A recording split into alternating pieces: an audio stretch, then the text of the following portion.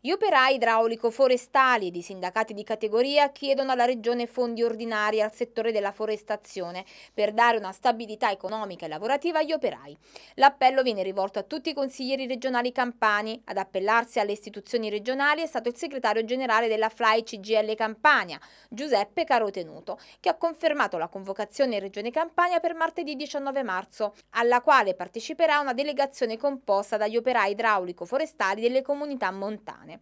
All'incontro in ragione le tre organizzazioni sindacali si presenteranno con una piattaforma unitaria di proposte per una soluzione definitiva della vertenza forestazione.